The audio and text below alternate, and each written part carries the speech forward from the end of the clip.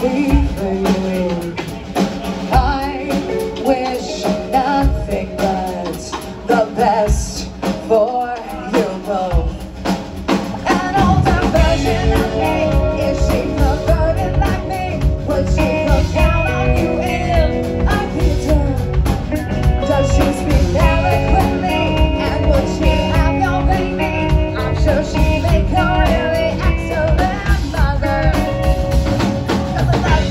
that we was a man on a and